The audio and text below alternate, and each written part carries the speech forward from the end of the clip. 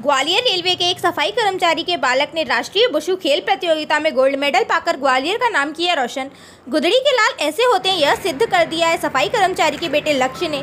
जिसने सीमित संसाधनों के होते हुए भी कन्याकुमारी में आयोजित 21वीं राष्ट्रीय बुशु चैंपियनशिप में सब जूनियर बुशु प्रतियोगिता के मध्य प्रदेश से एकमात्र गोल्ड मेडल दो कांस्य पदक पाकर न सिर्फ़ अपने माता पिता का बल्कि ग्वालियर शहर का भी नाम रोशन कर दिया है। जब वह गोल्ड मेडल पाकर अपने घर अपने कोच के साथ लौटा तो उसके पड़ोसियों ने उसका स्वागत ढोल नगाड़ों के साथ पुष्प मालाएँ पहनाकर और लड्डू खिलाकर किया। छह से सात घंटे लगातार प्रैक्टिस करने वाले और आठवीं कक्षा में पढ़ रहे चौदह साल के लक्ष्य का लक्ष्य है। कि वह एशियन गेम्स में भाग ले और वहाँ भी इसी तरह का प्रदर्शन करते हुए गोल्ड मेडल हासिल करें। टूर्नामेंट था।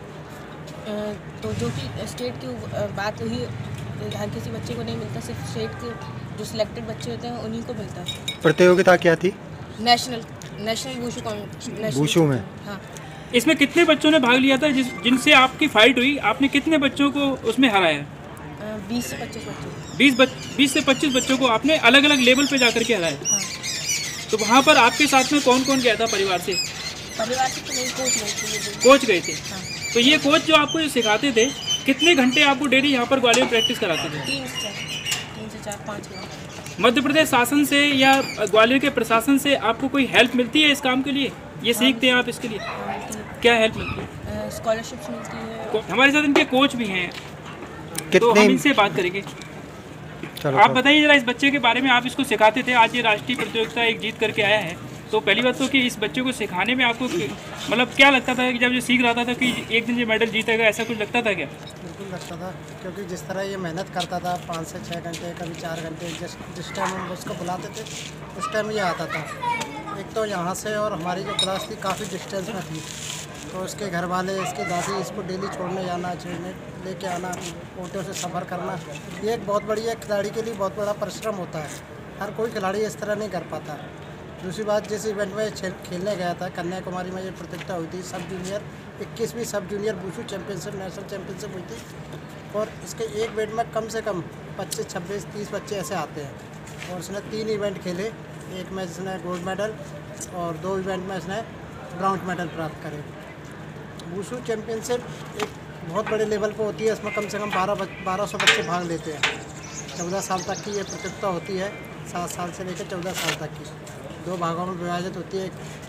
इसकी तरह से कितने बच्चे और हैं जो आपको लग रहा है आगे चल करके और अच्छा नाम करेंगे? भी बच्चे हैं मेरे कई बच्चे पहले अभी सीनियर नेशनल चैम्पियनशिप में भी टूर्नामेंट खेले हैं। उनके भी मेडल हैं उनकी जॉब भी लगी अभी आई में भी जॉब लगी हुई है उसकी एक अभी करंट में बच्ची है जिसकी तो आपका कहने का मतलब ये है कि कराटे में भी एक अच्छा शानदार करियर हो सकता है? हाँ बिल्कुल हो सकता है अगर आप वूशू में। जी। से अगर आप नेशनल खेलते हैं सीनियर इवेंट में तो आपको मध्य प्रदेश और केंद्र सरकार के द्वारा पक्का हंड्रेड वन परसेंट जॉब मिलेगी। बूसू जैसा कि आपका ये स्टूडेंट बूसू में सफलता पाया है बूसू और कराटे में डिफरेंस क्या है? वूशू कराटे के ओनली खाली हाथ वेपन होता है वूशू में बहुत सारे विधाएँ हैं। जो जो इवेंट ये कर रहा है तावलू इवेंट करता है ये। तावलू में इसके पास तलवार भी होती है लाठी भी होती है भाला भी होता है नैन चाक भी होता है और वेयर एंड भी होता है। मतलब खाली हाथ पर मतलब बूसू में वेपन्स के साथ हाँ। और कराटे केवल खाली हाथ खाली हाथ काता नीचे होता क्योंकि आम लोगों को ये चीज़ें नहीं मालूम होती हैं इतने इसलिए सारे हथियारों के साथ जब ये सीखते हैं बच्चे तो उनके लिए कोई सेफ्टी के लिए भी कोई व्यवस्था की जाती है मतलब या कई बार घायल भी हो जाते हैं? नहीं घायल में इनको इस तरह के पैतरा ही सिखाया जाता है। हाथ मूवमेंट इतने बढ़िया रहते हैं तो वो चोट नहीं लगती है खिलाड़ी को। जी आपको? मेरा धर्मेंद्र नागले नाम है। जी आप क्या कहना चाहेंगे?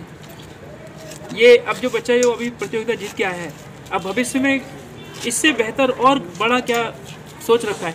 सोच रखा हुआ है इसके लिए कि काफ़ी ये ट्रेनिंग करेगा इसके बाद इंटरनेशनल और एशियन गेम्स में भी ये जाएगा। अच्छा जो ओलंपिक गेम होते हैं जिसमें उसमें भी इसका कुछ हाँ स्थान है? एशियन गेम्स में है ये। जी। तो उसमें भेजने की तैयारी आप लोग करेंगे। अब इस बच्चे को और कितना मेहनत करना पड़ेगी उसके लिए और आप लोगों को इसको सिखाने के लिए? इसको कम से कम छः घंटे मेहनत चाहिए छः से आठ घंटे पर डे। तब ये उसके लिए क्वालिफाई होगा। देखिए अच्छी बात है पढ़ाई करना चाहिए। लेकिन अगर आप फिफ्टी परसेंट पढ़ाई पर फिफ्टी परसेंट अगर गेम पर मेहनत कर लें तो बच्चे की हंड्रेड वन परसेंट जॉब लगेगी। आप क्या कहेंगे? देखिए स्पोर्ट्स करने से पहले तो बच्चे फिट रहते हैं, पढ़ाई अपनी जगह चलती रहती है। जितना ये करेंगे ट्रेनिंग मार्शल आर्ट्स को लेके तो सबसे ज़्यादा इनका शरीर मज़बूत रहेगा इंटरनल स्ट्रॉन्ग रहेंगे। जैसे अभी आप देख रहे हैं कि कोरोना में काफ़ी इम्यूनिटी सिस्टम के लिए सभी लोग बोल रहे हैं। तो मार्शल आर्ट्स करने से सबसे ज़्यादा इम्यूनिटी सिस्टम स्ट्रॉन्ग होती है। तो मैं कहूँगा कि सभी बच्चों को करना चाहिए। आज के समाचारों में बस इतना ही। फिर मिलेंगे, तब तक के लिए नमस्कार।